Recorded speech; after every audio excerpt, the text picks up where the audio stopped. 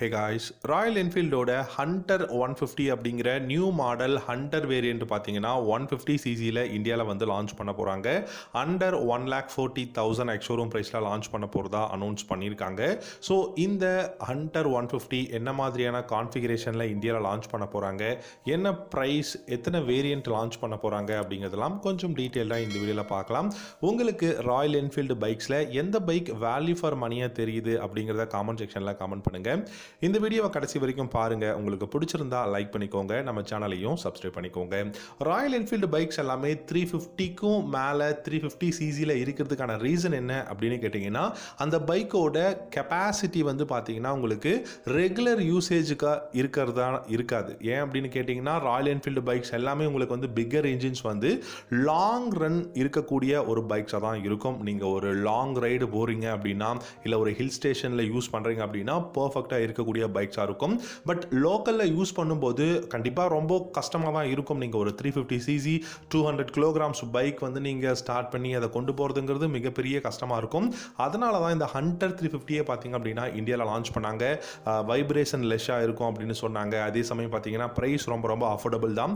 One lakh fifty thousand ஆக்சுவலும் ப்ரைஸ்லேயே start ஆகுது ஹண்டர் த்ரீ ஃபிஃப்டி ஸோ இதை விட ரொம்ப அஃபோர்டபுளில் எவ்ரிடே யூசேஜுக்கு இருக்கக்கூடிய பைக்காக ஒன் ஃபிஃப்டி சிசியில் டிஸ்பிளேஸ்மெண்ட் இருக்க மாதிரியான பைக் வந்து ராயல் என்ஃபீல்டு இந்த டுவெண்ட்டி டுவெண்ட்டி ஃபோரில் வந்து லான்ச் பண்ண போகிறாங்க ஹண்டர் த்ரீ ஃபிஃப்டியில் மட்டும் நமக்கு ஒன் ஃபிஃப்டி வரப்போகிறது கிடையாது.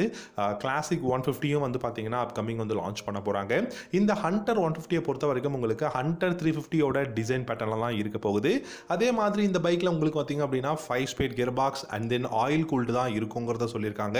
கண்டிப்பாக ஏர் கூல்டாக இருக்கிறதுக்கான பாசிபிலிட்டிஸ் இருக்குது பட் இன்னும் டெக்னாலஜிஸ் வந்து க்ரோ ஆகிட்டே இருக்கிறதுனால ஆயில் கூல்டை வந்து நம்ம பார்க்கலாம்.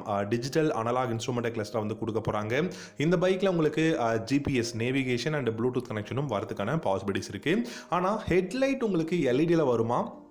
இல்லாட்டி வந்து ஹாலஜனில் கொடுப்பாங்களா அப்படிங்கிற ஒரு கொஷின் இருந்ததுன்னா அந்த மாதிரி ஒரு கொஷினே நமக்கு தேவை கிடையாது. ஏன்னா halogen indicators halogen headlamp halogen tail lamp தான் வந்து கொடுக்க போகிறாங்க ஆனால் நிறைய வேரியண்ட் வரும் அப்படிங்கிறத சொல்லியிருக்காங்க. ஹண்டர் ஒன் ஃபிஃப்டி லான்ச் பண்ணாங்க அப்படிங்கும்போது uh, என்ன மாதிரியான வேரியண்ட்னு பார்த்தீங்கன்னா உங்களுக்கு ஃப்ரண்ட்டில் single disc ரியரில் drum brake variant both front and rear பார்த்தீங்கன்னா single disc variant and maybe ABS variant வரதுக்கான பாசிபிலிட்டிஸ் கூட ஃபியூச்சரில் இருக்குது அப்படிங்கிறது தான். ஸோ ஹண்டர் வேரியண்ட்டில் ஒன் ஃபிஃப்டி வரதுக்கான ரீசன் ரொம்ப ரொம்ப அஃபோர்டபுள் ப்ரைஸில் கொடுக்கணும் அப்படிங்கிறதுக்காக.